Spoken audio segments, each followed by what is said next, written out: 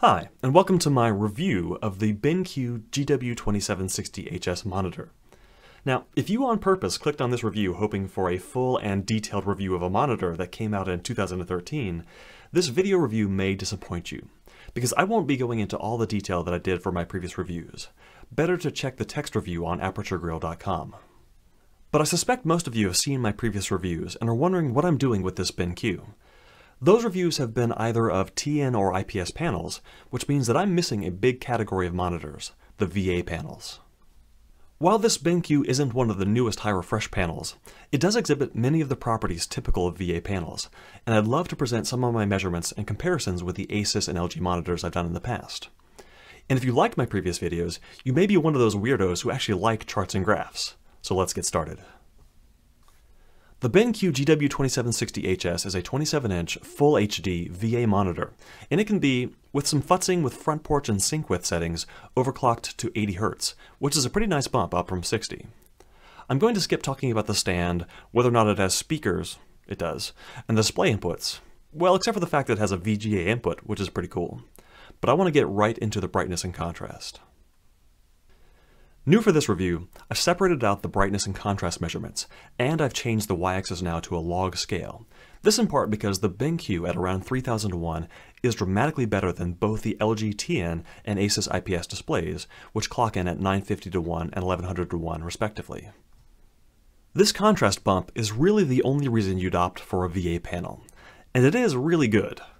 Once you pass 3000 to 1, and especially as you get up towards modern VA TVs with their 5000 to 1 ratios, images have a depth and clarity missing from IPS and TN. But like every monitor technology, they have downsides. No perfect displays yet. But I'll start with a compliment. The anti-glare coating is really good. Looking at these super macro photos of the coating, the BenQ has a light and thin film that doesn't cause much rainbow speckling with white backgrounds. I praised the VG27AQ's coating in the last review, but this is better and it's a huge improvement over the LG TN and especially that old Dell. But, looking now at the pixel structure, and especially the image I have under text rendering, you may have noticed that this VA panel, much like many modern VA panels, have a split subpixel. For full bright pixels, the entire subpixel is lit, but as the pixel dims to half brightness, only the bottom half of the subpixel dims. Then from 50% to black, the top half dims.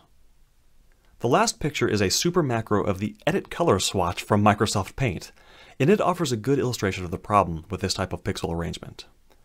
As we near the bottom, with only half the subpixels lit, there are now large horizontal gaps between pixel rows. Even though the screen has a good anti-glare coating, the limited pixel fill makes the screen look somehow lower resolution than it actually is. The same thing occurs on a lot of modern high refresh VA panels, and you'll see it in almost every curved VA panel made by Samsung. I don't currently have one to photograph, but PCMonitors.info has great macro shots of this. Check out the review of the AOC AG273QCX, or just search r slash monitors for VA blurry text. The Asus looks much cleaner in comparison. For viewing angles, VA panels are better than TN, but worse than IPS. Watch as the TN and VA panels rotate. The TN takes on a yellowish hue, while the VA goes a little bit pink. The Asus with its IPS panel maintains the same colors but just darkens as the viewing angle increases. The CRT is of course unmatched, but this comparison doesn't highlight one of my biggest issues with VA panels, which is the viewing angle dependent gamma shift of dark values. This is a video of the BenQ displaying a 5% gray slide while I move the camera around. VA panels crush dark grays in a nice circle centered right on your viewing angle, and this circle follows you around whenever you move your head. I find this way more distracting than TN panels, which are at least consistently bad across the whole screen. Image editing on a VA is a nightmare. The GW2760HS is pretty splotchy across the entire screen, but I really only want to highlight here the 5% shots. These were taken at 2 meters away, but you can still see that darkened inner circle, which gets worse as you get closer. You may be less annoyed by this than me, but even more than slow pixel transitions, which I'll get to shortly, this viewing angle issue is my biggest problem with VA panels. Getting on to the pixel transitions, let's first take a look at the various overdrive settings offered by BenQ. The OSD has only three, off, high, and premium. Looking at pursuit photos of our friendly Blurbuster alien here, there doesn't seem to be much difference between off and high, and measurements bear that out. My CAD score for off is only around 11% worse than high, but it's definitely worse, so I'm only going to be comparing high and premium from here on out. If you look at high and premium, which would you prefer?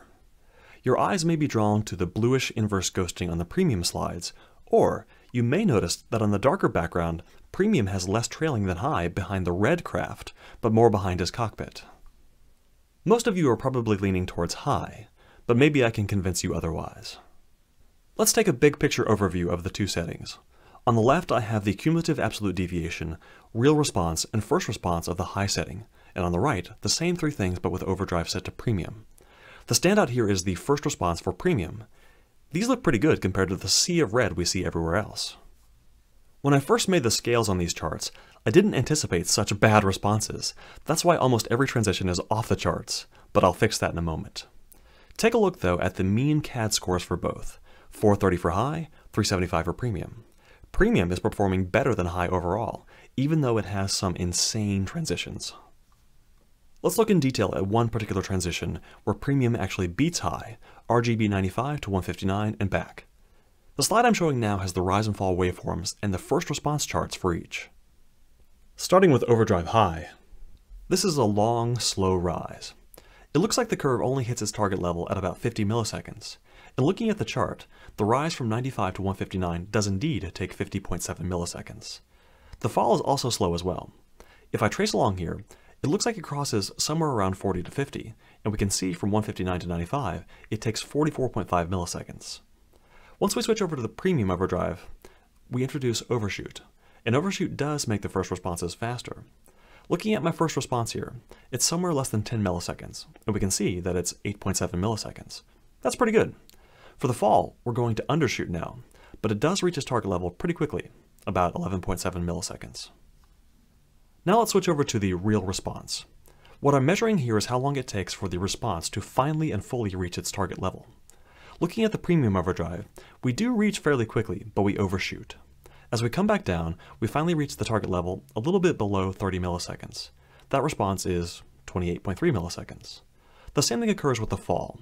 As I go down, we reach at a little past 10, but the final result levels at a little past 20, which is 22.9. Let's now take a look at the cumulative absolute deviation. Looking at the premium overdrive setting, even though it does overshoot, it spends less time and a distance away from the target response, which means it gets a lower CAD score. 357.2 versus 580.4. While I'm still on this slide, there's one premium transition that kind of caught my eye. It's a bit hard to see, but the transition from 0 to 127 has a CAD of 1000. We should take a look at that. Wow. If you look at the right, I changed the scale of the CAD graph to a broader 0 to 1000 to better illustrate just how bad some of these transitions are. Looking at our 0 to 127, we still see that same 1000. And we can see that this transition dramatically overshoots before it hits 16.6 milliseconds, which is a full frame at 60 Hz. Then the panel dries back down towards its target level. It takes a long time and it spends a long way away from the target level, giving us this high CAD score. Looking at the high overdrive setting, it's not as bad. We still have a CAD of 715, which shows that the BenQ takes a long, slow ramp to 127 but it is slightly better than this nonsense. There's one final transition I want to look at, and you can see it in the bottom right of the CAD graph. The transition from white 255 to 223 has a CAD of 1400. I have got to know what's happening here. The initial fall here occurs quite rapidly. It only takes about 2.1 milliseconds to reach 223, but it sails well past that. Once it reaches 16.6 milliseconds, one frame at 60 Hz, the panel can now drive back up towards the target level. As we move along, we hit 33 milliseconds, two frames, and we're about at the target level, but we still need a bit longer, three full frames. Look at the area in that chasm. That's why the CAD is so high, and why the first response can be a very misleading metric.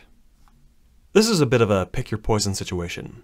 Premium does better overall, but both it and high are astonishingly bad.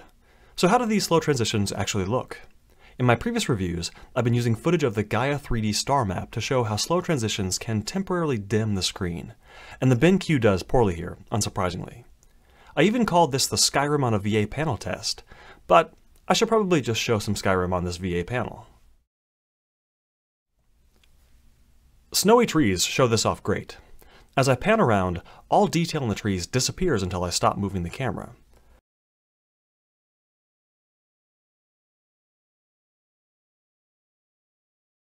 But it doesn't just happen here.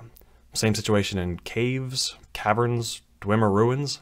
Skyrim was made for CRT and OLED.